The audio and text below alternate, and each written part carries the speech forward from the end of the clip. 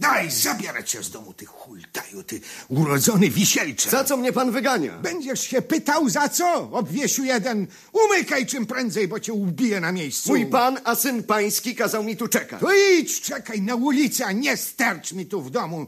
Nie chcę mieć pod nosem szpiegat. Twoje przeklęte oczy tylko myszkują na wsze strony. Czy on się aby czegoś nie domyśla, drże cały? To ty może rozsiewasz plotki?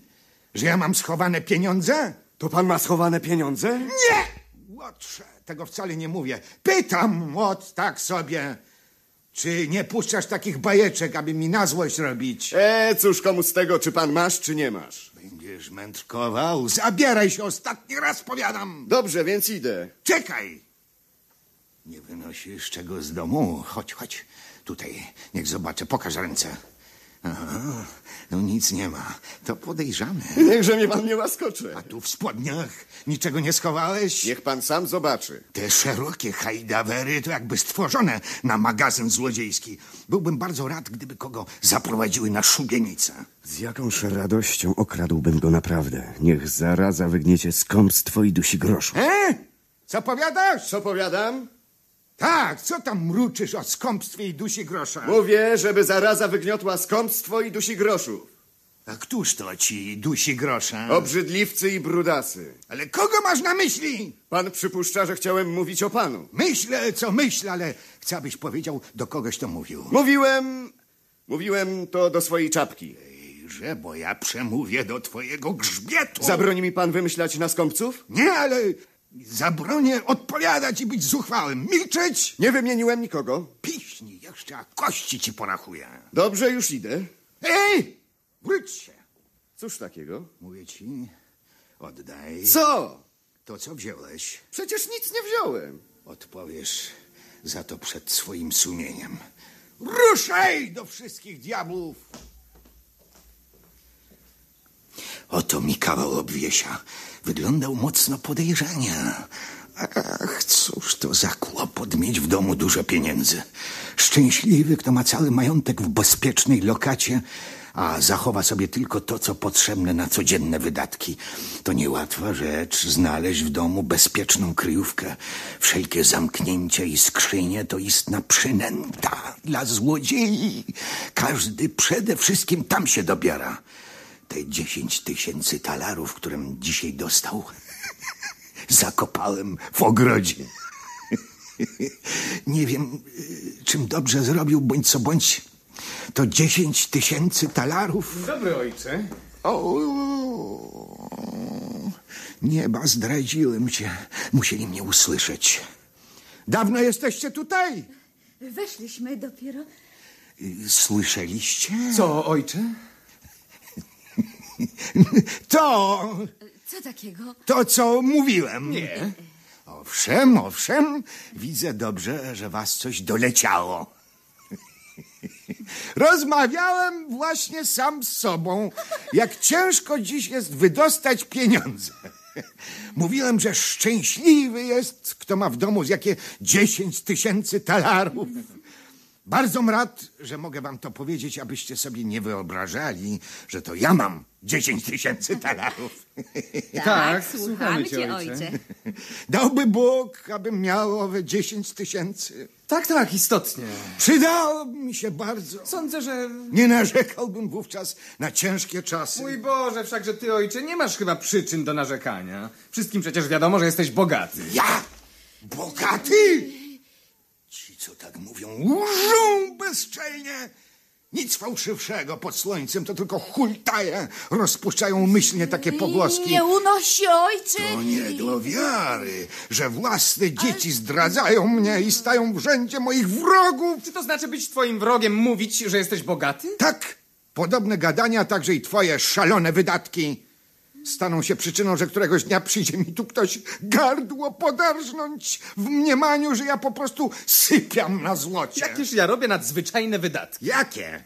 Czy może być coś bardziej oburzającego niż te wspaniałe stroje, w których sobie Paradujesz po mieście, diabelnie mi coś bawisz się w markiza. Aby stroić się w ten sposób, musisz mnie chyba podskubywać. Bardzo ciekaw, jakby to można ojca podskubywać. Skądże zatem bierzesz na to? Gram w karty po prostu i to bardzo szczęśliwie. To źle robisz. Jeżeli masz szczęście w kartach, powinieneś z tego korzystać i składać wygraną na uczciwy procent, aby się czegoś dociulać. Zawsze masz rację, ojcze. Ale przyszliśmy... Cóż znaczą te miny? Oboje z bratem mamy ci coś do powiedzenia. To, to dotyczy małżeństwa. Ja również chciałbym z wami pogadać o małżeństwie. Ty, ojcze? Powiedz mi, Kleancie, czy zauważyłeś kiedy młodą osobę imieniem Marianna, mieszkającą niedaleko od nas? Owszem, ojcze. A ty, Elizo? Słyszałam tylko o niej. Jak ci się wydaje, synu, ta panienka? Jest wprost urocza. Nie uważasz, że taka dziewczyna zasługuje, aby o niej pomyśleć? Ależ tak, ojcze. Że mogłaby być dla każdego pożądaną partią? Jak najbardziej. Że wygląda na osobę, która potrafi być dobrą gospodynią? Niewątpliwie. I że mąż mógłby z nią być Z szczęśliwy? pewnością. Jest tylko jedna trudność. Obawiam się, że nie posiada takiego posagu, do jakiego by się miało prawo. Ojcze, cóż znaczy majątek, gdy chodzi o małżeństwo z istotą godną uwielbienia? Za pozwoleniem, za pozwoleniem. Można by rzec jedynie, że jeżeli się nie weźmie za nią tyle, ile by się pragnęło, można się starać odbić to na innych rzeczach. Oczywiście. Słowem bardzo się cieszę, że się zgadzamy. Łagodne bowiem wejrzenie i stateczność panienki ujęły mnie za serce i postanowiłem ją zaślubić. Kto? Ty, ojcze? Ty? Tak, ja, ja, ja. Cóż to ma znaczyć? Słabo mi się jakoś zrobiło. Pozwól mi odejść, ojcze. To minie, idź prędko do kuchni i wypij dużą szklankę czystej wody. Oto nasi wymuskani panicze. Tyle w nich siły, co w kurczęciu. Co do Kleanta, przeznaczam dlań pewną bogatą wdowę. Ciebie wydam za pana Anselma. Za pana Anselma? Tak jest. To człowiek dojrzały, rozsądny i doświadczony. Nie ma więcej nad 50 lat i słynie z swoich dostatków. Ale ja nie pragnę wyjść za mąż, mój ojcze, jeżeli pozwolisz. A ja, moja córeczko, pragnę, abyś wyszła za mąż, jeżeli pozwolisz. Wybacz mi, ojcze. Wybacz mi, córko. Jestem najuniżejszą sługą pana Anselma, ale z przeproszeniem ojca żoną jego nie zostanę. Jestem twoim najniższym podnóżkiem, ale z przeproszeniem panny, żoną jego zostaniesz jeszcze dziś wieczór. Dziś wieczór? Dziś wieczór. To być nie może, ojcze. Będzie, moja Raczej córko. się zabiję, niż przyjmę takiego męża. Nie zabijesz się i przyjmiesz. Widział kto? Takie zuchwalstwo. Słyszał kto, aby córka w ten sposób przemawiała do ojca? Słyszał kto, aby ojciec w ten sposób chciał wydać córkę za mąż? Oto Walery.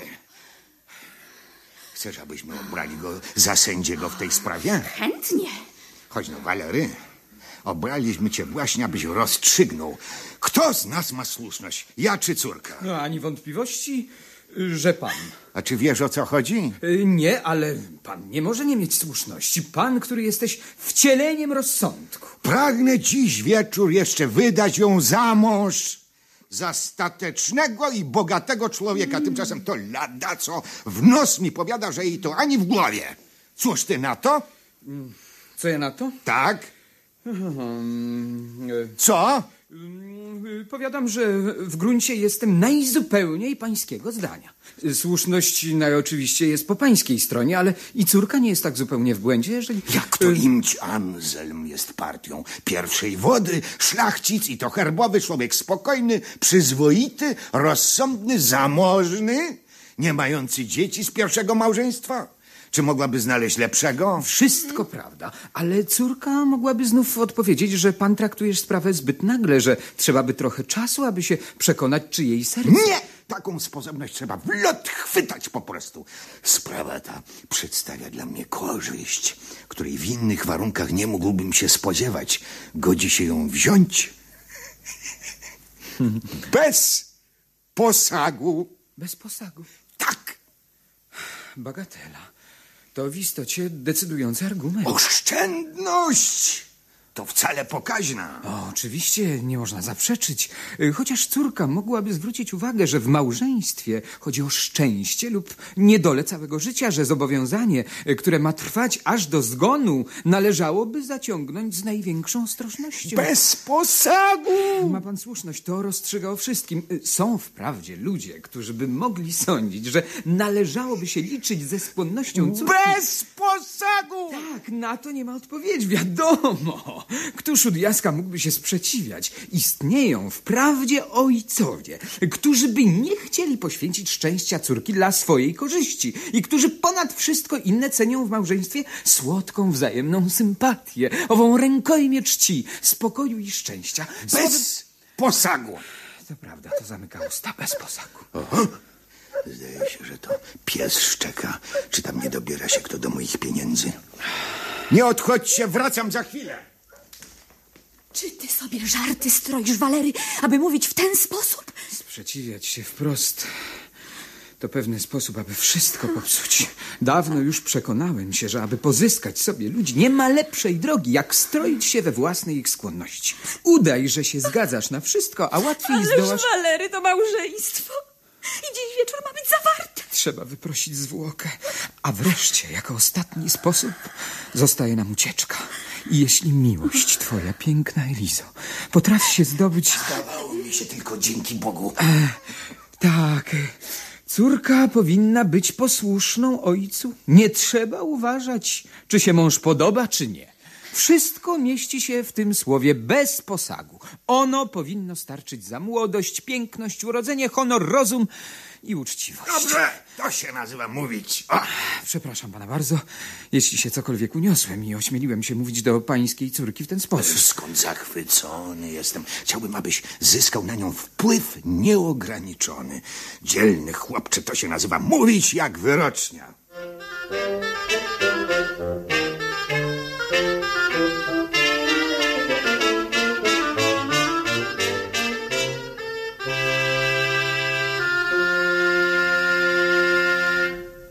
Jak stoją sprawy, strzałko?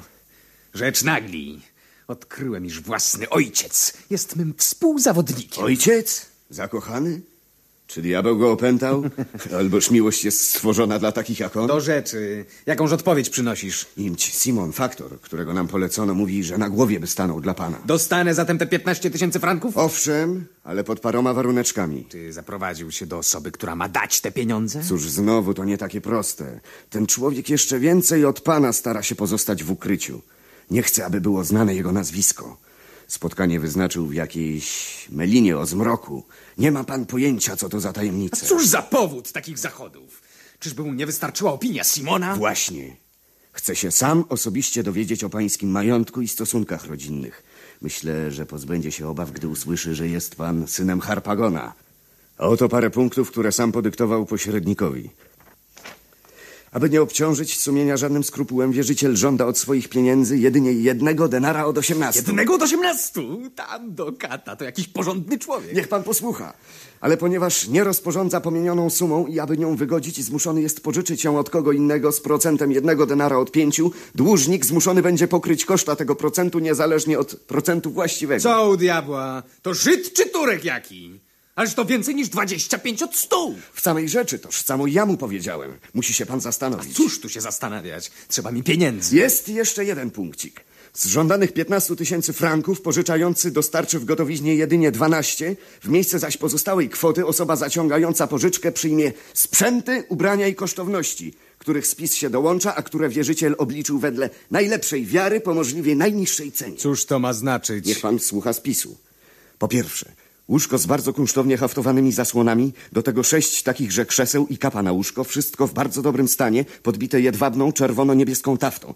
Nadto baldachim nad łóżko różowy z czystej wełny z jedwabnymi frędzlami. Cóż ja mam począć z tym wszystkim? To jeszcze nie wszystko. Nadto dywan ścienny przedstawiający umizgi Jowisza. Nadto stół orzechowy o dwunastu kręconych nogach, rozciągany wraz z odpowiednią ilością krzeseł. A cóż mnie u diabła? Niechże pan będzie cierpliwy. Nadto trzy muszkiety wykładane perłową macicą wraz z podpórkami. Nadto piec ceglany z dwoma alembikami i trzema zbiornikami. Bardzo użyteczny dla amatorów destylacji. Diabli mnie już biorą. Powoli. Nadto Lutnia bolońska posiadająca prawie wszystkie struny. Nadto warcabnica z figurami oraz gra w gąskę. Zabawy stanowiące bardzo miłe zajęcie w chwilach wywczasu. Nadto skóra jaszczura pół czwartej stopy długa wypchana sianem. Osobliwość bardzo zdobiąca pokój, gdy się ją powiesi upowały. Wszystkie wymienione przedmioty łącznie warte co najmniej 4500 franków oddaje się przez szczególną względność za sumę tysiąca talarów. Niechże go zaraza zdusi razem z jego względnością. Tego łotra, oprawcę. Słyszał kto kiedy o tak bezecnej lichwie. Niech pan spojrzy. Idzie pan Simon. Cóż on tu robi?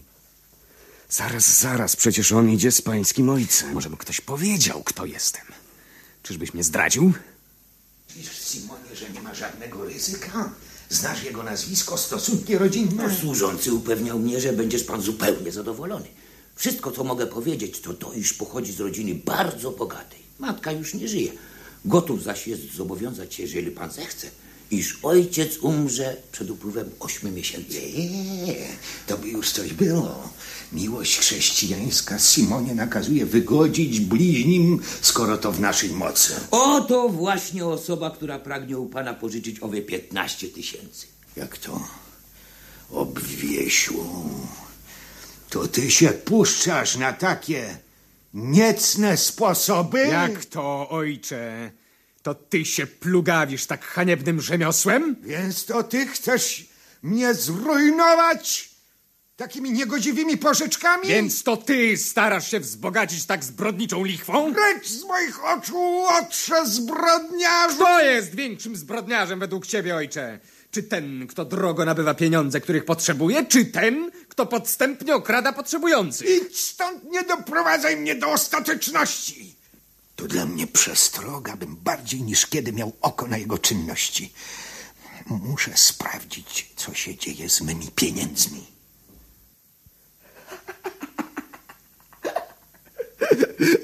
Zdarzenie doprawdy paradne.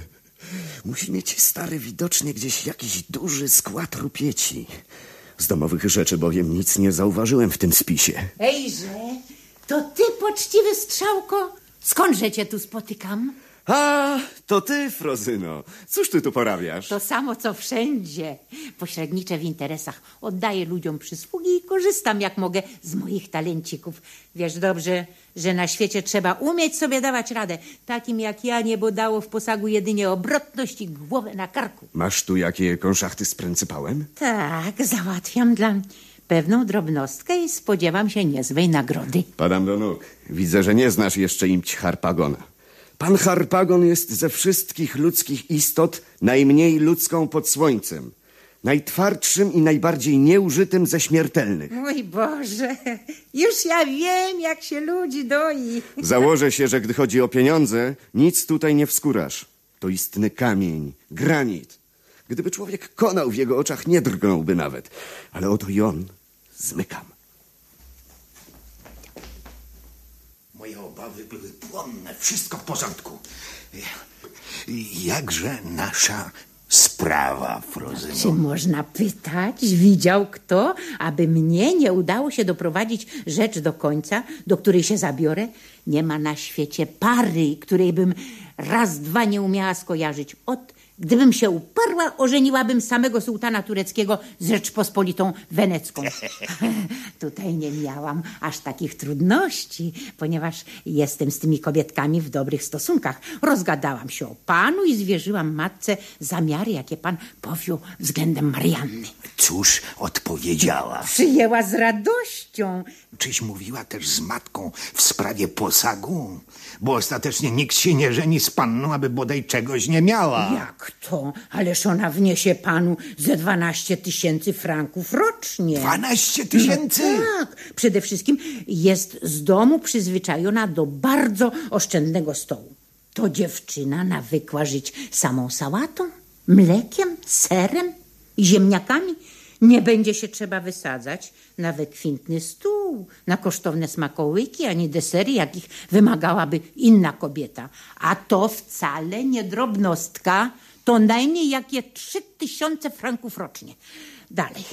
Włożona jest do wielkiej skromności i prostoty w ubraniu. Nie lubi kosztownych sukien, wspaniałych klejnotów, zbytkownych mebli. To warte przeszło Cztery tysiące rocznie. Brzydzi się grą, co dziś rzadkie u kobiet. Znam młodą niewiastę, która w trątę karantę przegrała 20 tysięcy franków w tym roku. Ale liczmy tylko czwartą część. Pięć tysięcy rocznie na grze. Cztery tysiące na strojach i kosztownościach. To czyni dziewięć tysięcy. Tysiąc zaś talarów, które oszczędziliśmy na jedzeniu, czy to nie wyniesie razem okrągłych dwunastu tysięcy? Tak, to nieźle, jednakże ten rachunek nie ma w sobie nic realnego. Za pozwoleniem, czy to nie jest rzecz bardzo realna, jeśli ktoś panu wnosi jako posag wstrzemięźliwość, jako sukcesję prostotę w ubiorze i jako kapitał wstręt do gier hazardowych? Chyba kpisz, Frozyno, wmawiać mi jako posag wszystkie wydatki, których nie będzie robiła. Muszę bodaj coś zobaczyć w gotowiźnie. Dostaniesz pan, dostaniesz. Mówiły mi, że gdzieś tam mają jakiś mająteczek, który panu e, tym samym przypadnie. Trzeba to sprawdzić. Ale, ale, Frozyno, jeszcze jedna rzecz mnie niepokoi. Dziewczyna jest młoda, a młode zazwyczaj ciągną do młodych. Lękam się, że człowiek w moim wieku może jej nie przypaść do smaku. Ach, no jak pan się myli. To jeszcze jedna cenna jej właściwość, którą miałam panu oznajmić. Ma nieprzezwyciężony wstręt do młodych ludzi. Doprawdy? Upewniam pana. Nie może po prostu znosić widoku młodego człowieka. Nic zaś jej więcej nie zachwyca, powiada, niż piękny starzec. Im który starszy, tym powabniejszy w jej oczach. Nie dalej jak przed czterema miesiącami, już w przededniu małżeństwa, zerwała wszystkie układy, ponieważ wielbiciel przyznał się, że ma dopiero 56 lat. Doprawdy? Ty mi szczególne rzeczy opowiadasz. Ja także, wiesz, gdybym był kobietą, nie przepadałbym wcale za młodymi. Myślę sobie, ładny mi specjał doprawdy te gołowąse smarkacze. Co do mnie, nie umiem tego pojąć. Nie wiem, jakim cudem znajdują się kobiety, które tak przepadają za tym No towarem. ty, a jak to zbudowane, jak to wygląda przy takim człowieku jak pan. To mi mężczyzna dopiero. Jest na co popatrzeć. Niech się pan trochę obróci, jeśli łaska. No, no, to mi postawa kształtna, swobodna i pełna siły. Nie znać wręcz najmniejszej dolegliwości. Bogu dzięki. Astma nie trapi mnie czasami. O, to nic. Bardzo panu do twarzy z tą astmą. Kaszle pan z takim wdziękiem. Powiedz mi, Frozyno, czy Marianna zna mnie z widzenia? Nie, ale wiele mówiłyśmy o panu. Nakreśliłam jej pański portret. Nie omieszkałam wysławiać przed nią pańskich zalet i korzyści z posiadania takiego męża. Dobrze, bardzo ci dziękuję. Ale prawda, e, przy sposobności miałabym małą prośbę. Mam proces, który grozi przegraniem dla braku trochę pieniędzy. A nie uwierzyłby pan, jak ona ucieszy się z poznania pana. Mam pewność, że pan jej przypadnie do gustu. Bardzo mi miło to usłyszeć. Niech mi pan wierzy, że ten proces to dla mnie sprawa niezmiernej wagi. Jestem zgubiona i jeśli go przegram, a mała, maleńka pomoc mogłaby mi, e, mogłaby mnie postawić na nogi. Chciałabym, abyś pan widział zachwyt, z jakim słuchała o, opowiadań o panu. Radość tryskała z jej oczu, gdym wyliczała wszystkie pańskie przymioty. Bardzoś poczciwa, Frozyno. Błagam pana, chciej pan nie odmawiać tego, o co proszę. To mi po prostu życie Doprawdy ocali. jestem ci szczerze e, zobowiązany. Do widzenia. Przysięgam, że nie mógłbyś bardziej w porę pospieszyć z pomocą. Idę powiedzieć, aby przygotowali powóz. Ja nie naprzykrzałabym się z pewnością, gdyby mnie nie zmuszała ciężka potrzeba. Polecę, aby Nie- wcześnie podali kolację. Niech mi pan nie odmawia łaski, błagam pana. Wołają mnie, Frozyno. Do zobaczenia. O, że cię febra ściśnie, ty stary psie brudasie diabelski. Kutwa udawał głuchego. No, ale nie trzeba jeszcze dawać za wygraną. Na wszelki wypadek umiałam zapewnić sobie sowitą nagrodę z drugiej strony.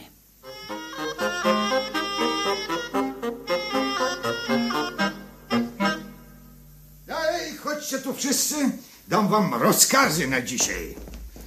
Chodź no tu, pani Klot, zacznijmy od pani. Tobie powierzam obowiązek posprzątania w całym mieszkaniu. Proszę tylko nie ścierać za mocno. To bardzo niszczy. Ciebie zdziebelko i ciebie szczygielku przeznaczam do nalewania wina. Ale pamiętajcie, nie naprzykrzać się ludziom i nie namawiać do picia. Czekajcie, aż ktoś poprosi, to nie jeden raz. I pamiętajcie, nie żałować wody. No, idźcie i uważajcie, aby nie zniszczyć Liberii. Ale kiedy, proszę pana, mój kaftan po jednej stronie z przodu strasznie poplamiony A olejem. znowu moje szarawary całkiem podarte z tyłu, także mi widać uczciwszy uszy. Trza! Trzymaj się zręcznie koło ściany i obracaj się. Zawsze frontem, a ty, kiedy będziesz usługiwał, trzymaj zawsze z przodu kapelusz. No, do roboty. Ty, moja córko, będziesz miała oko, gdy będą sprzątać ze stołu i będziesz uważała, aby nic nie przepadło. To zajęcie dla młodej panienki. A pamiętaj przyjąć jak należy moją narzeczoną, rozumiesz? I tak, ojcze.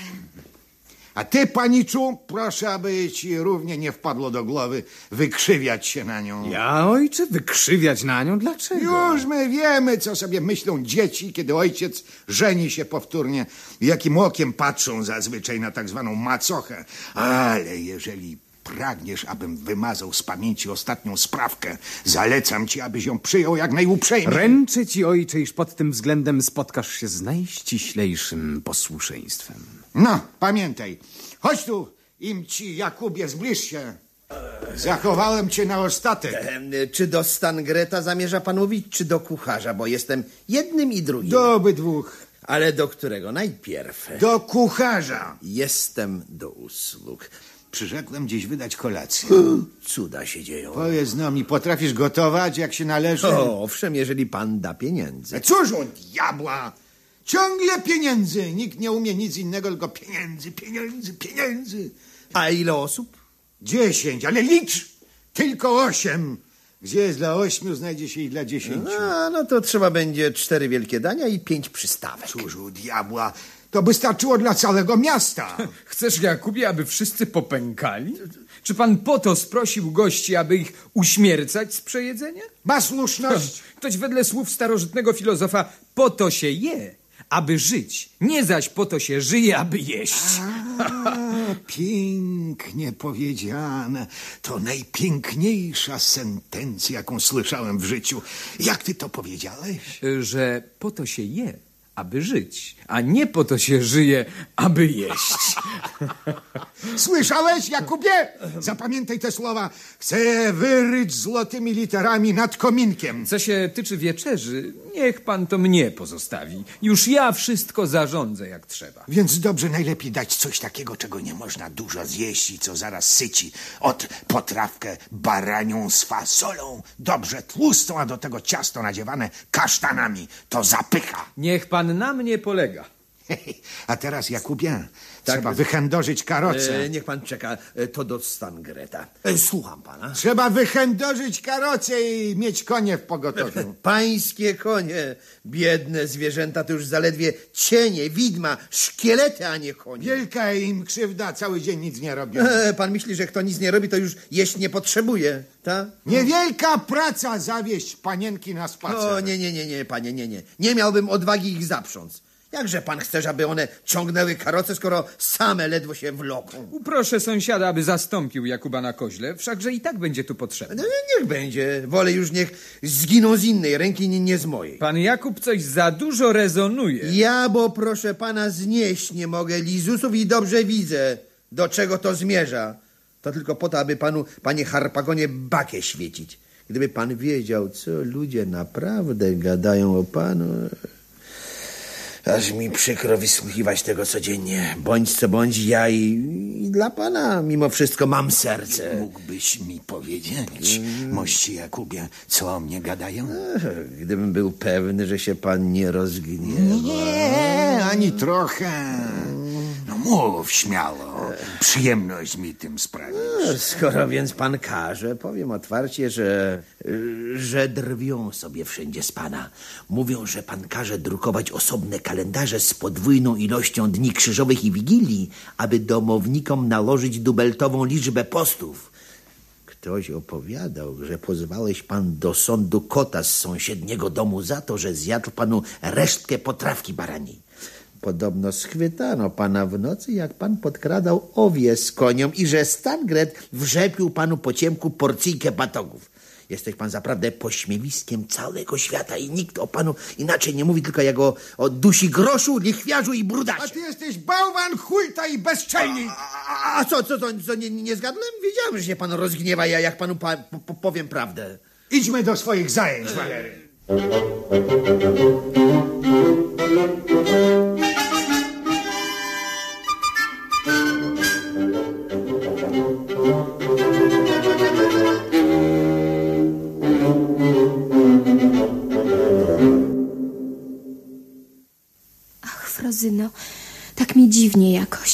Strasznie się boję tego spotkania. Ale dlaczego? Skąd ten niepokój, Marianno? Ach, ty się pytasz. Czy nie możesz sobie wyobrazić uczuć osoby, która za chwilę ma zobaczyć narzędzia tortur, na jakie jest skazana? Poznaję, że ten młody elegancik, o którym mi mówiłaś, zapruszył ci nieco głowę. Tak, Frozyno.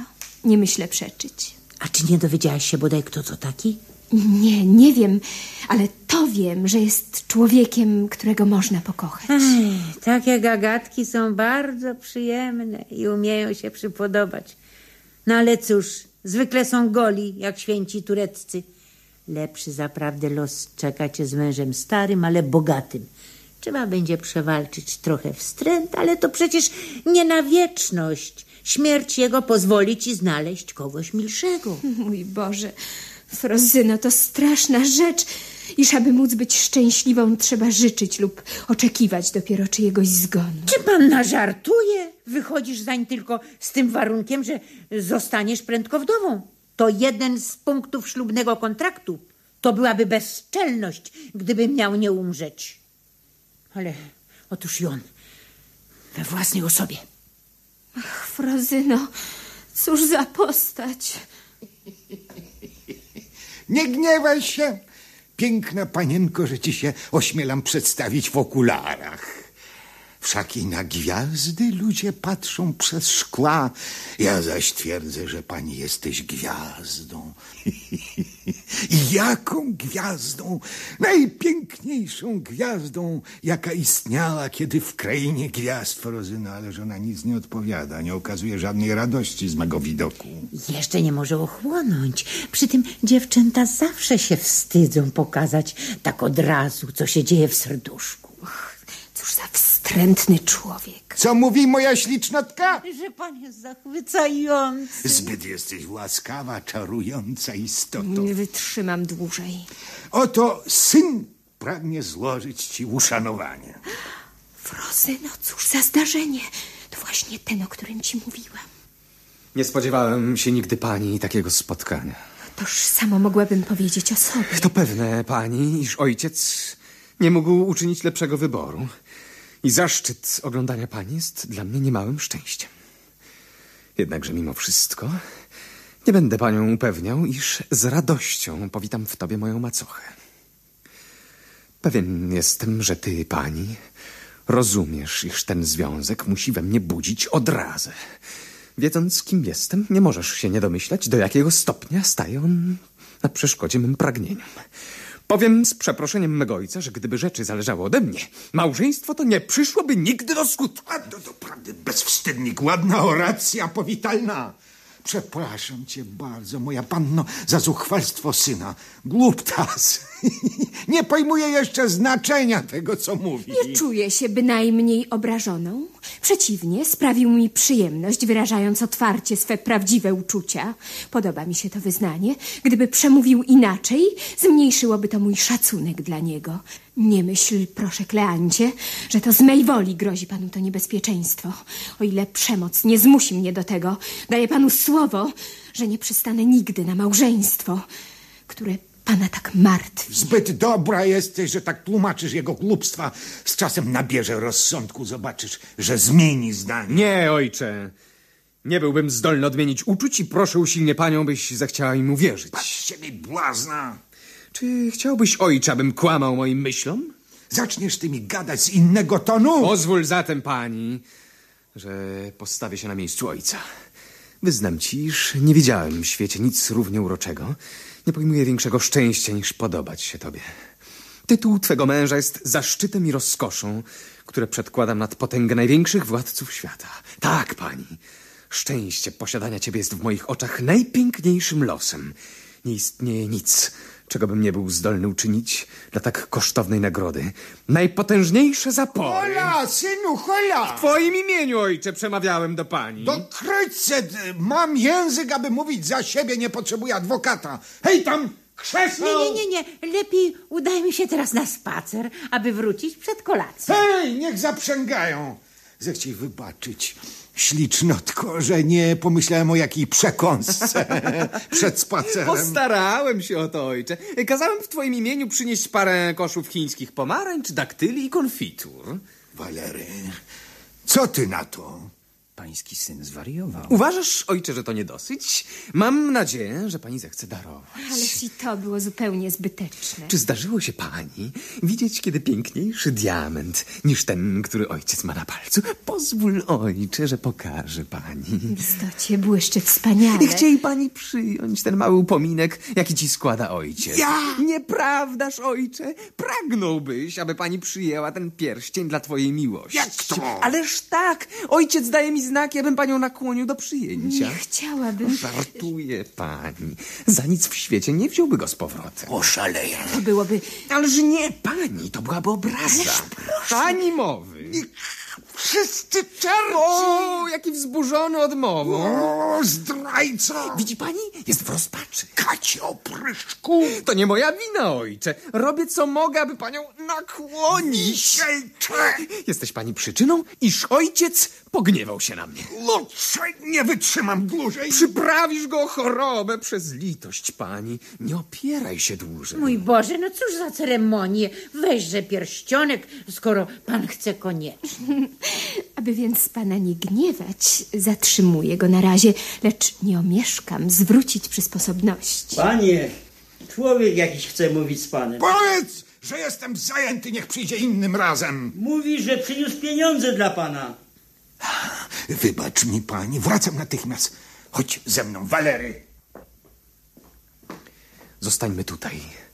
Nikt nie podsłuchuje. Możemy mówić swobodnie. Tak, pani, brat zwierzył mi się z miłości swej dla ciebie. Ach, znam dobrze przykrości i niedolę takiego położenia. Niech mi pani wierzy z całego serca. Biorę udział w waszej sprawie. Jakąż miłą pociechą jest posiadać życzliwość osoby takiej jak pani, Elizo. Błagam, abyś na zawsze zechciała mi zachować tę szlachetną przyjaźń, podwójnie cenną w moich smutnych losach. Daję słowo, kapitalne głupstwo szczeliliście oboje, żeście mi się nie zwierzyli zawczasu z całą historią.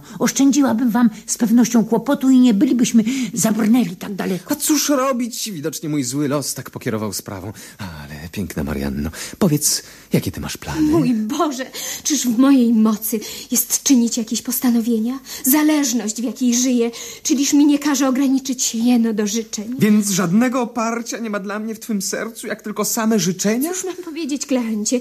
Postaw się na moim miejscu. Nie mogę zapomnieć o matce. Nie potrafiłabym niewdzięcznością odpłacić dobrość i serdeczność, jakich zawsze doznawałam. Ją staraj się przekonać. Możesz czynić i mówić, co ci się podoba. Daję ci zupełną swobodę. Frozyno, poczciwa Frozyna, ty czy zechcesz dopomóc? Czyż trzeba pytać? Chciałabym z całego serca. Wiecie dobrze, że ja mam dość ludzką naturę. Niebo nie dało mi serca z kamienia. Jakże tedy wziąć się do rzeczy? Pomyśl trochę, proszę cię o to. Poradź co. Znajdź sposób odrobienia tego, coś zdziałała. To nie tak łatwo. Największa bieda to to, że pański ojciec jest pańskim ojcem. No, niestety, w tym rzecz. Trzeba by zatem, aby zerwanie wyszło od niego samego i aby w jakiś sposób mógł się zrazić do Marianny. Masz słuszność. Wiem, że mam słuszność, ale to jeszcze mało. Ale czekajcie, gdyby się postarać o jakąś kobietę, nie nadto młodą, sprytną, niby coś w moim rodzaju, która by przebrana na prędce pod jakimś dziwacznym nazwiskiem markizy e, lub wicehrabiny umiała odegrać rolę znakomitej damy, przybyłej skądś z prowincji. Podejmuje się wmówić w pana Harpagona, że to jest osoba, która prócz nieruchomości ma sto tysięcy talarów gotowizną, że zakochała się w nim śmiertelnie i pragnie koniecznie zostać jego żoną. Tak, iż gotowa jest intercyzą przekazać mu cały majątek. Ani wątpię, że da się złapać. To bardzo dobry pomysł. Pozwólcie mi tylko działać. Bądź przekonana, Frozyno, o mojej wdzięczności. A ty, Marianno, pomożesz mi zjednać matkę dla naszych celów. Uczynię wszystko, co w mej mocy. Nie zaniedbam niczego. Uwaga, ojciec nadchodzi. Karoca gotowa. Możecie jechać choćby zaraz. Skoro nie jedziesz, ojcze, może ja paniom będę towarzyszył. Nie, zostań. Mogą pojechać i same. Będziesz mi potrzebny. I cóż, Klancie, jak ci się wydaje ta młoda osoba? Jak mi się wydaje? Tak? Co sądzisz o jej obejściu, urodzie, wykształceniu? Cóż zatem? Jeśli mam mówić e, szczerze, muszę przyznać, żem się rozczarował. Robi wrażenie skończonej kokietki. Niezręczna, uroda średnia, a rozumek nadal pospolity. Nie myśl, ojcze, że mówię to, aby cię zniechęcić, skoro ma być macocha. Ta czy inna, to już wszystko jedno. Mówiłeś jednak przed chwilą... Powiedziałem jej parę grzeczności w twoim imieniu, ojcze, aby ci zrobić przyjemność. Zatem nie masz do niej żadnej sympatii. Ja? Ani trochę. Bardzo tedy żałuję. To niweczy pewien projekt, który zrodził mi się w głowie. Patrząc na nią, zacząłem zastanawiać się nad moim wiekiem. Pomyślałem, że świat miałby prawo kręcić głową, iż biorę za żonę tak młodą osobę. Ten wzgląd sprawił, iż postanowiłem odstąpić od zamiaru, że zaś już prosiłem o jej rękę i jestem poniekąd związany, byłbym ją oddał tobie, gdyby nie twoja wyraźna niechęć. Mnie? Tobie? Za żonę? Za żonę? Posłuchaj, ojcze. To prawda, że nie jestem zbyt zachwycony tą panienką, ale aby ci zrobić przyjemność, gotów jestem zaślubić ją, jeśli każesz. Nie, synu, jestem rozsądniejszy niż myślisz. Nie chcę cię zmuszać wbrew skłonności. Pozwól, ojcze, zadam sobie ten przymus dla ciebie. Nie! Nie, małżeństwo nie może być szczęśliwe bez prawdziwego przywiązania. To może znaleźć się z czasem, ojcze. Wszak mówią, że miłość jest często owocem małżeństwa. Nie, mężczyzna nie powinien się puszczać na takie próby. Gdybyś czuł jakąś sympatię dla niej, a wówczas to co innego. Ożeniłbym cię w moje miejsce, ale gdy tego nie ma, pójdę za pierwotnym zamiarem i sam ją poślubię. Skoro tak, ojcze, trzeba, abym ci odsłonił serce i wyjawił naszą tajemnicę. Wiedz, iż pokochałem Mariannę od pierwszego dnia, w którym ujrzałem ją na przechadzce. Zamiarem moim było prosić cię o pozwolenie zaślubienia jej i powstrzymywała mnie jedynie obawa twego gniewu. Czy się odwiedzał w domu? Tak, ojcze. Dobrze cię przyjmowano? Bardzo dobrze. Lecz nie wiedząc, kim jestem. To właśnie przyczyna zdziwienia Marianny. Czy wyjawiłeś jej swoje uczucia i zamiary? Owszem, mówiłem nawet z matką. Jakże przyjęła oświadczenie? Bardzo życzliwie. A córka czy odwzajemniła twoje uczucia? Jeśli mam wierzyć temu, co mi okazuje, sądzę, ojcze, że ma dla mnie niejaką przychylność. Otóż, synu, czy wiesz, co ci powiem? Że musisz z łaski swojej wybić sobie tę miłostkę z głowy, zaniechać wszelkich kroków względem osoby, którą ja dla siebie wybrałem oraz jak najrychlej zaślubić tę, którą ci przeznaczam. Więc tak, ojcze. W ten sposób igrasz ze mną. Dobrze. Skoro rzeczy zaszły tak daleko, oświadczam ci, ojcze, że nie poniecham Marianny, że nie ma ostateczności, do której bym się nie posunął, aby ci wydrzeć zdobycz i że jeżeli ty masz zgodę matki, ja może znajdę inne drogi. Jak to ty byś śmiał ojcu stawać na drodze? To ojciec mnie staje na drodze. Ja mam prawo pierwszeństwa. Czy nie jestem twoim ojcem? Czyś mi nie jest winien uszanowania? To nie są rzeczy, w których by dzieci winny ustępować rodzicom. Miłość nie zna takich względów. I ty mnie poznasz, jak cię porządnie kijem wygrzmocę. Wszystkie groźby nie zdadzą się na nic. Wyrzekniesz się Marianny? Nigdy. Kija! Dawajcie prędko kija!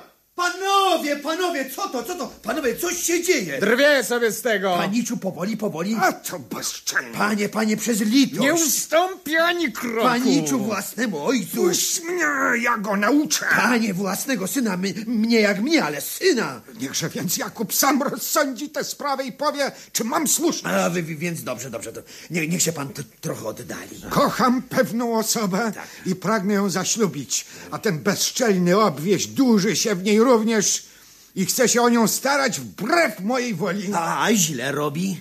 Czyż to nie jest potworne, aby syn stawał w drodze ojcu? A ma pan słuszność. Niech mi pan pozwoli z nim pomówić. Niech pan tu zostanie. Więc dobrze. Skoro ojciec uczynił cię swym sędzią, ja się nie wzdragam. Również pragnę, Jakubie, oddać sprawę pod twoją ocenę. Czyni mi pan wielki zaszczyt. Pokochałem młodą panienkę. Tymczasem ojcu zachciewa się stawać w poprzek naszej miłości z tymi pretensjami. E, Źle robi, to pewne. Czyż nie wstyd w jego wieku myśleć jeszcze o małżeństwie? Czyż jemu przystało odgrywać czułego kochanka? Czyż nie powinien zostawić młodszym tej roli? Ma, ma pan słuszność. To są kpiny. Pozwól pan, bym mu rzekł dwa słowa. E, No cóż, no syn nie jest taki pomylony, jak pan twierdzi. Mówi wcale roztropnie. Powiada, że świadom jest szacunku, jaki panu jest winien. Uniósł się jedynie w pierwszym zapędzie, ale obecnie gotów jest poddać się pańskim rozkazom, byleby pan zechciał się z nim lepiej obchodzić i dać mu za żonę osobę wedle jego gustu. A, jeśli o to chodzi, zostawiam mu zupełną swobodę wyboru. E, da, da, da, Widzi pani, czy ojciec nie taki uparty, jak pan sobie wyobraża? Powiedział, że tylko zuchwalstwo pańskie doprowadziło go do wściekłości, ale gotów jest zezwolić na to, czego pan pragnie, bylebyś pan okazał uszanowanie i pokorę, jakie syn winien jest ojcu. A, Jakubie, możesz go zapewnić, że byleby mi oddał Mariannę, znajdzie we mnie zawsze najuleglejszego syna. Tak, tak. A więc rzecz załatwiona, zgadza się. Doskonale. Wszystko ułożone, ojciec przyjmuje obietnicę. Bogu dzięki. Teraz mogą panowie spokojnie pomówić z sobą. Sprzeczaliście się, bo jeden nie mógł drugiego zrozumieć. Chciej mi przebaczyć, ojcze, chwilę uniesienia. Drobnostka. Upewniam, że szczerze żałuję mego postępku. A ja serdecznie się cieszę, że wreszcie przyszedłeś do rozsądku. Jakiś ty dobry, ojcze, że raczyłeś tak szybko zapomnieć o moich błędach. Przejednałeś mnie zupełnie powolnością i posłuszeństwem. Przyrzekam ci, ojcze, że aż do grobowej deski zachowam w sercu pamięć twojej A dobroci. ja przyrzekam ci, że nie ma rzeczy, której byś nie uzyskał ode mnie. Ojcze, nic więcej nie żądam. Dosyć dałeś, dając mi Mariannę. Co takiego? Wszystko się dla mnie mieści w twojej dobroci, która mi raczy oddać Mariannę za żonę. A któż ci powiedział, że ja chcę oddać Mariannę? Ty, ojcze. Jak to? To tyś obiecał, że się jej wyrzekniesz. Ja? Wyrzec się? No tak! Ani myślę. Co ty, obwiesiu, znowu zaczynasz? Nic mnie nie zdoła odmienić. Zobaczysz, niegodziwcze, jak ja się wezmę do ciebie. Weź się, ojcze, jak ci się podoba. Zabraniam pokazywać mi się na oczy. Bardzo mi przyjemnie. Wyrzekam się ciebie. I owszem, Wydziedziczam cię. jak się ojcu podoba. I darzę cię moim przekleństwem. Może ojciec schować dla siebie swoje dary.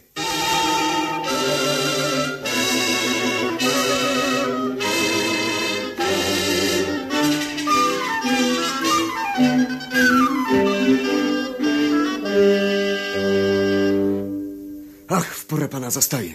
Prędko, proszę za mną. Co się stało? Niech pan idzie za mną, powiadam. Dobra nasza. Jak to? Mamy czego nam trzeba. Co? Cały dzień na to czatowałem. Co takiego? Udało mi się przychwycić skarb ojca. Jakżeś tego dokonał? Wszystko opowiem. Złodziej! Umykam do jego krzyki. O! Złodziej! Złodziej! Złodziej, rozbójnik! Morderca! Ratunku! Kto w Boga wierzy? Jestem zgubiony, zamordowany. Gardło mi poderżnęli, wykradli mi pieniądze! Kto to być może? Co się z nim stało? Gdzie uciekł? Gdzie uciekł? Gdzie się ukrywa? Jak go znaleźć? Gdzie pędzić? Gdzie go szukać? O, moje kochane złoto, moje biedne złoto, mój drogi przyjacielu, wydarto mi ciebie. Odkąd mi ciebie wydarto, straciłem mą podporę, pociechę, radość. Wszystko skończone dla mnie, nie mam co robić na świecie. Bez ciebie żyć mi niepodobna. Stało się. Już nie mogę. Umieram. Już umarłem. Pogrzebano mnie. Śpieszmy. Pójdę sprowadzić sąd. Cały dom każe wziąć na tortury. Sługi służącą syna, córkę, siebie samego. Co tu ludzi naokoło? Na kogo spojrzę, już go podejrzewam. W każdym domyślam się, widzę złodzieja. Patrzą na mnie i śmieją się. Dalej prędko komisarzy policji, straży sędziów, kleszczy szubienic, katów. Wszystkich każę powywieszać. A jeśli nie odnajdą mego skarbu, sam się potem powieszę.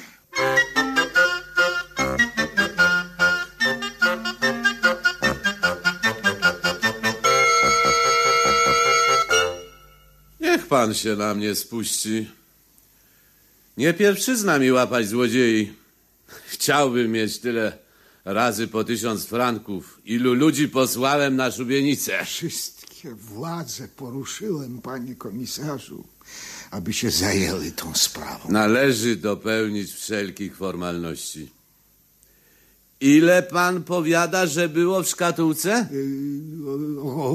Yy, dziesięć tysięcy talarów. Dziesięć tysięcy talarów.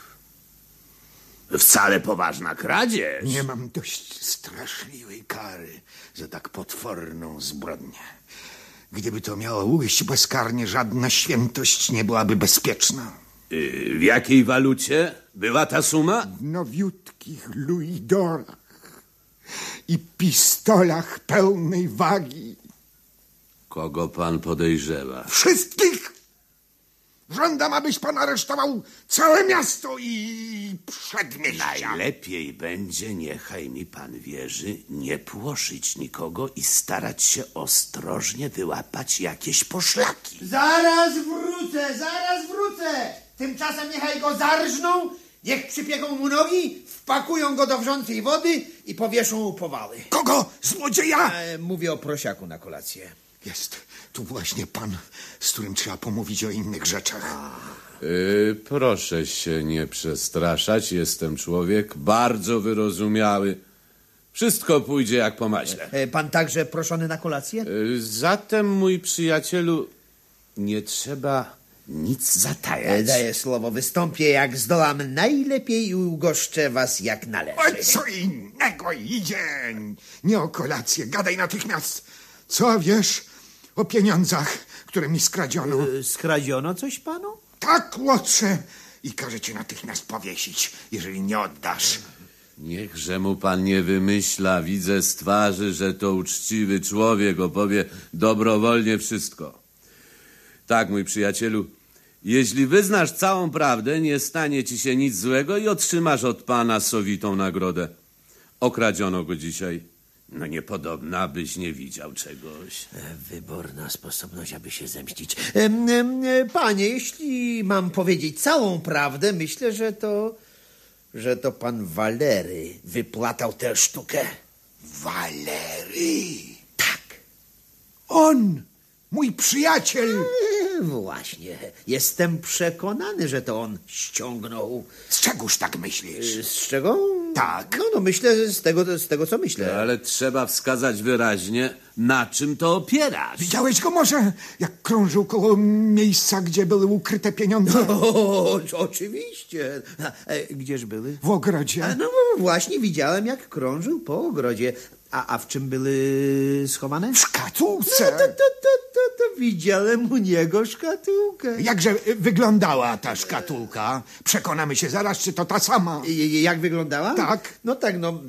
No wyglądała, no, no, no, no jak... y, Jak szkatułka. To się rozumie, ale opisz ją nieco dokładniej. No, no, no, tak, no ta, taka, taka duża szkatułka. Ta, którą skradziono, była mała. No, no, no tak, niby mała, jeśli brać rzeczy z tej strony, ale y, mówię, że duża przez wzgląd na zawartość. A jakiego koloru?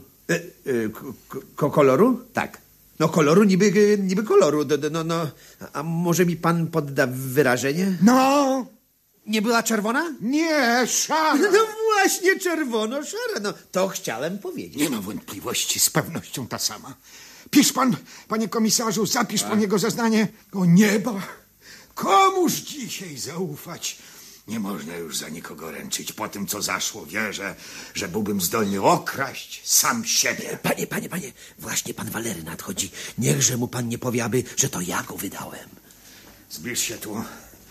Wyznaj najczarniejszy postępek, najniegodziwszy zamach, jaki kiedykolwiek popełniono na ziemi. O co chodzi? Jak to zdrajco? Nie rumienisz się za swą zbrodnię? Jaką zbrodnię? Jaką zbrodnię? Bezwstydny! Nie wiesz niby? Próżno udawać, cała rzecz odkryta. Dowiedziałem się o wszystkim. Jak śmiałeś nadużyć mej dobroci, wciskać się w dom, aby mnie zdradzić, aby mnie podejść w sposób tak haniebny? Panie, skoro więc wszystko odkryte, nie będę szukał wykrętów. Nie chcę się niczego wypierać. Czyżbym nie wiedząc trafił w sedno? Zaklinam, byś pan nie unosił się i raczył wysłuchać mego usprawiedliwienia. I cóż masz za usprawiedliwienie złodzieju nikczemny? O, nie zasłużyłem na takie nazwisko. To prawda, zawiniłem ciężko względem pana, ale zważywszy wszystko, błąd mój jest do przebaczenia. Jak to do przebaczenia? Taki bezczelny rabunek? Przez litość nie unoś się pan. Zło nie jest tak wielkie, jak się wydaje. Nie tak wielkie, jak się wydaje. Jak to? To moja krew, moje wnętrzności, ty wisielcze. Krew pańska nie dostała się w niegodne ręce. Osoba moja i pochodzenie nie przynoszą jej bynajmniej wstydu. Nie stało się nic, czego by nie można naprawić. Tego też żądam, abyś oddał to, coś zrabował. Honor pański otrzyma pełne zadośćuczynienie. Tu nie chodzi o żaden honor, ale powiedz, co cię popchnęło do takiego czynu? O, I pan pyta? Oczywiście, że pytam. Bóstwo niosące z sobą uniewinnienie błędów, do których przywodzi miłość. Miłość? Tak. Ładna miłość. Słowo daje miłość do moich dukatów. Nie, panie, nie bogactwa mnie skusiły. Nie to mnie wcale olśniło. Przysięgam zrzec się wszelkich pretensji do twego majątku, byleś mi zostawił to, co posiadam. Nie zostawiał wszystkich diabłów, nic nie zostawia. A to szczyt bezczelności chcieć zatrzymać owoc kradzieży. Czyż pan to nazywasz kradzieżą? Czy ja to nazywam kradzieżą? Taki No, skarb. prawda, skarb najcenniejszy, jaki pan posiadasz. Błagam pana na kolanach o ten skarb tak pełen uroku. Jeśli masz trochę serca, nie możesz mi go odmówić. Ani mi w głowie, cóż to wszystko ma znaczyć? Przysięgliśmy sobie wiarę i uczyniliśmy ślub, że nic nas nie rozdzieli. Cóż to za brednie? Tak, przyrzekliśmy sobie, że będziemy do siebie należeć na zawsze. Już ja ci to wybiję z głowy, bądź pewny. Śmierć tylko jedna zdoła nas rozłączyć. Bezczelnie obwiesił.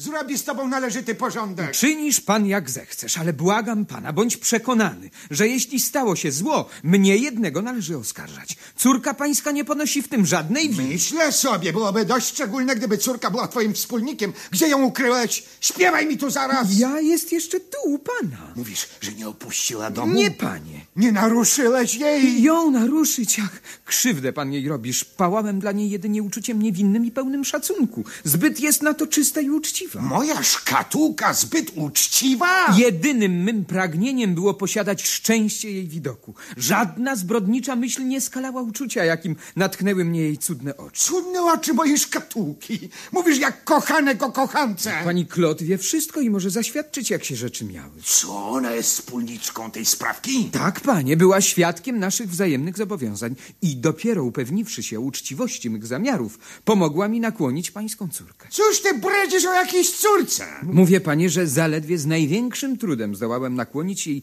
skromność do pragnień mej miłości. Czyją znów No skromność? córki pańskiej zaledwie wczoraj dała się namówić do wzajemnych przyrzeczeń małżeństwa. O nieba, nowe nieszczęście.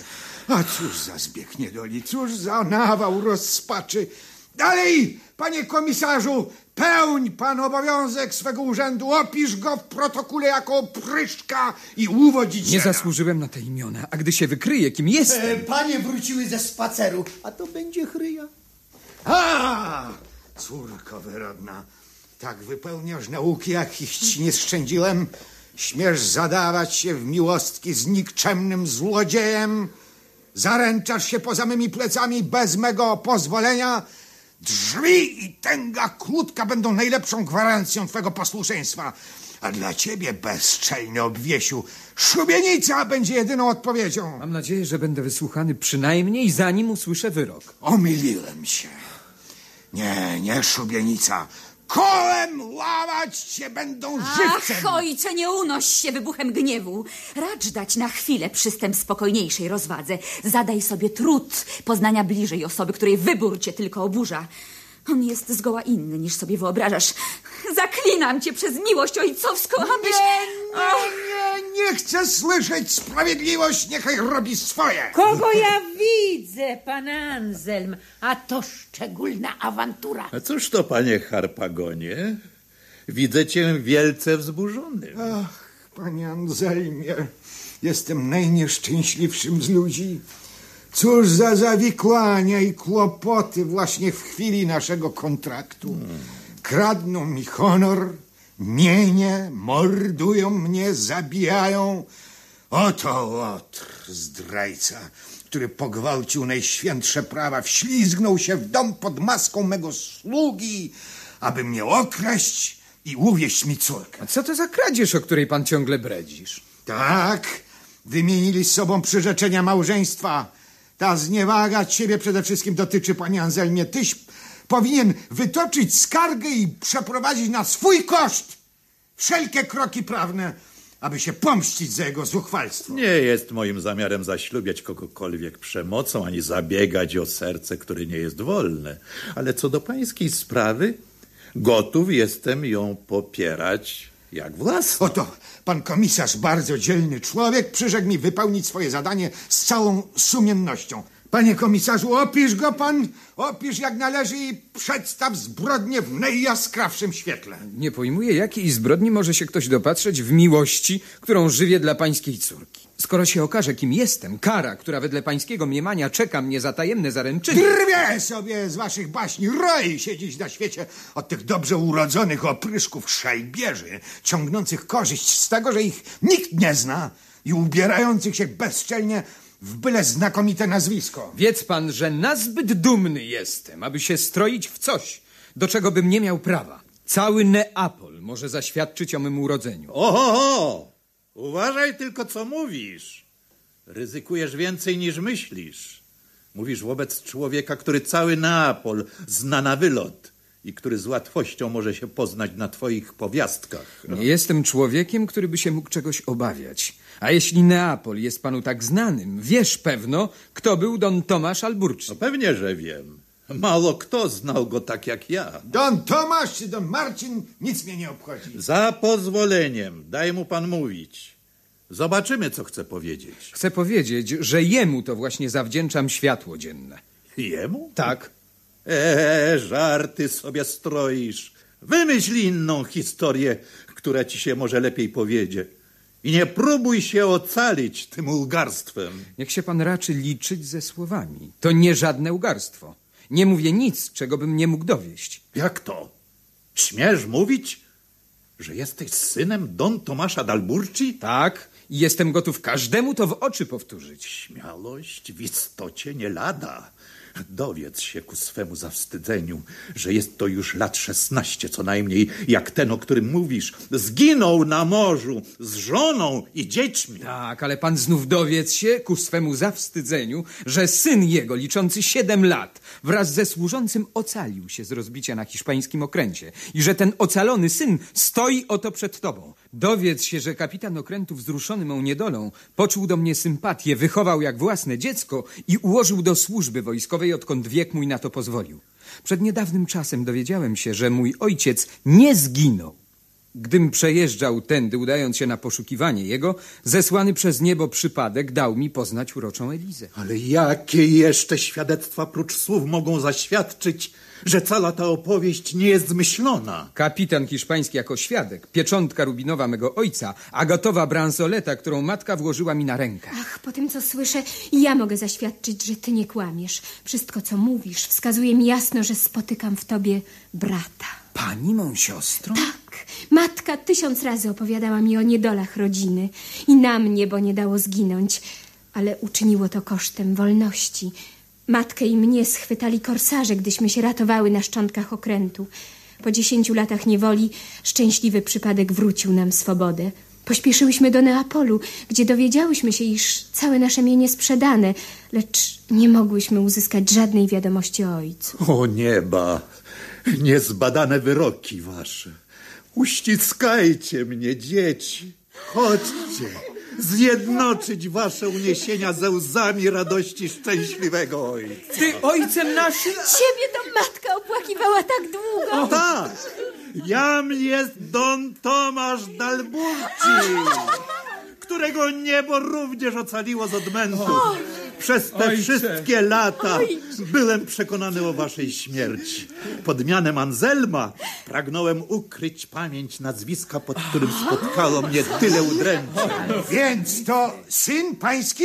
Tak, Na panu za tym będę poszukiwał o skradzionych dziesięciu tysięcy talarów. jak to mój syn miałby ukraść? On sam, Któż to powiedział? Jakub. Ty to mówisz? Przecież pan widzi, że ja nic nie mówię. Owszem, Jak... oto właśnie komisarz przyjął jego zeznanie. I pan, panie Harpagonie, mogłeś sądzić, iż ja byłbym zdolny do tak haniebnego czynu? Zdolny, niezdolny chce widzieć swoje pieniądze. Nie dręcz się, ojcze, i nie oskarżaj nikogo.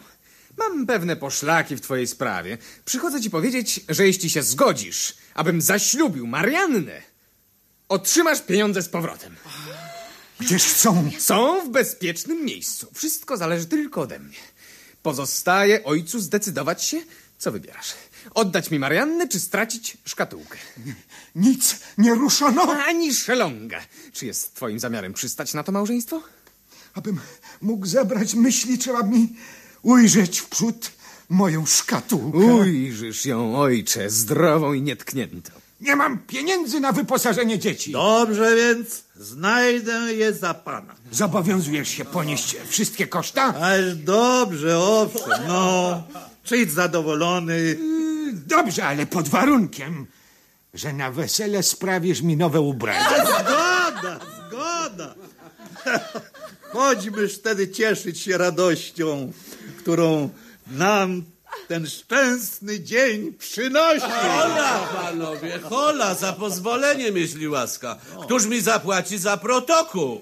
Nic nam już po protokole. Dobrze, ale ja nie mam wcale ochoty pracować za darmo. Jako zapłatę masz pan tu fałszywego donosiciela, możesz go powiedzieć. Oj Boże miłosierny, jakże więc trzeba czynić? Za prawdę chcą bić kijem, za kłamstwo chcą wieszać. Mości Harpagonie, trzeba mu przebaczyć to oszczerstwo. A zapłacisz pan komisarza? Niech i tak będzie.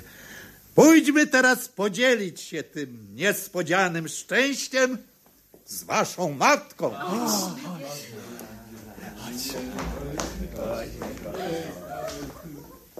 A ja pójdę uściskać moją kochaną szkatułkę.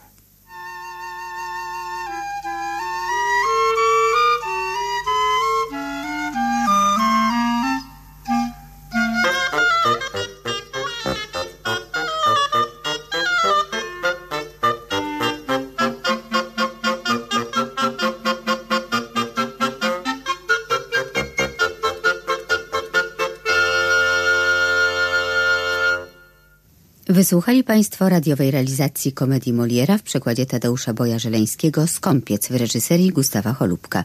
Adaptacja Jerzego Jakla. Wystąpili w roli Harpagona Gustaw Holubek, w roli Elizy Małgorzata Niemirska, jako Kleant Marek Kondrat, Marianna Magdalena Zawadzka, Walery Damian Damięcki, Frozyna Wanda Łuczycka, Anselm Zdzisław Mrożewski, Jakub Lech Ordon, Strzałka Jan Bończa-Tomaszewski oraz Zbigniew Kryński, Marek Obertyn, Stefan Friedman i Józef Fryźlewicz. Realizacja akustyczna Sławomira Pietrzykowskiego to było nagranie z roku 1977.